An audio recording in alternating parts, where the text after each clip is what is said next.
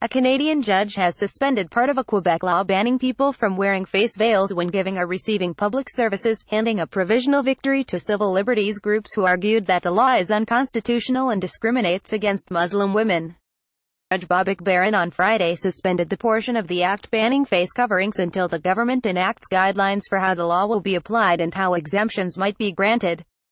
The government of the mainly French-speaking province of Quebec now has a chance to clarify in detail how the law would be put into practice.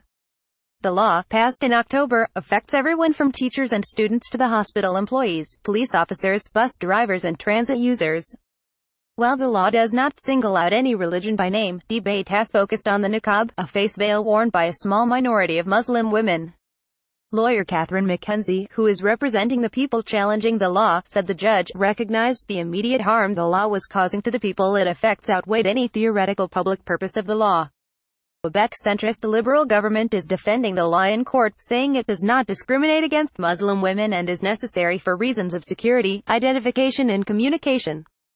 The act's name refers to religious neutrality and accommodations on religious grounds. I'm not unsatisfied with the judgment because there's no mention that the law contravenes the Charters of Rights, the Quebec Premier, Philippe Couillard, told reporters Friday. The National Council for Canadian Muslims welcomed the ruling as a successful first step, its executive director, Ihsaan Gardee, said. Opponents of the law say it targets a visible minority that has been subject to threats and violence. Quebec had about 243,000 Muslims as of 2011, according to Statistics Canada, out of a population of 8 million. In January a gunman walked into a Quebec City mosque and shot six people to death. A French-Canadian university student has been charged as the sole suspect. France, Belgium, the Netherlands, Bulgaria and the German state of Bavaria have imposed restrictions on the wearing of face veils in public places.